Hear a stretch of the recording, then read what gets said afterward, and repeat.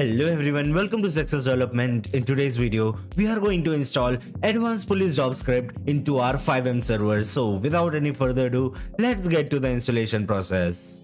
So this is the script which you are going to install into a FiveM server. This is a free version of High Def Police Job. I'll provide the link in the description below. Now in the releases, click on the latest version. After that, click on source code and download the script. After downloading it, we just need to extract the file.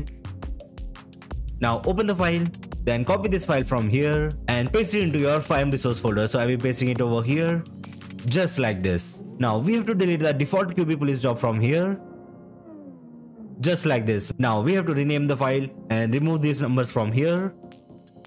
Now open the file, go to images and copy these images from here and paste into your QB inventory. For that you just need to go to QB inventory, HTML, images and paste your images over here just like this.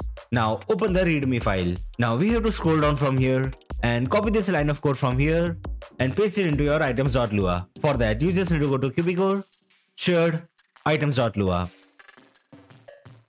Now come to the very bottom line of the code and you have to paste it over here. Just like this. Now press Ctrl Save. Now open the config.lua. From here we can configure police job script. In here you can configure the blip colors which are in your server. So I'll be keeping them default for now and we can easily configure these locations according to our police station's MLO. And from here we can configure our armory. So yes, that's it for the installation part. Now let's start the server. So we are in a server now. Let's get on duty from here. You just need to use your target eye. Click on sign in. Then click on sign to on duty. Now with this advanced police job script, we get these items in our armory. First item is handcuffs as we all know. And when you handcuff a person, we have to use cuff keys to uncuff them. But if you're a criminal, then you don't have any access to the cuff keys. But in that case, you can use bolt cutter to break the handcuffs. The another item is zip tie which is used to do soft cuff. To uncuff someone with the zip tie, we have to use flush cutter. So the last item is Leo GPS. Now let's use it. Now we have to write the name of our call sign so I'll be writing 101. After that click on activate GPS. Now let's open the map. As you can see over here these are blip of our GPS as you can see. Now let's spawn a car. So I'll be spawning T20 so as you can see on the map the blip has been changed to car. Now let's spawn a chopper. So I'll be spawning Polmav.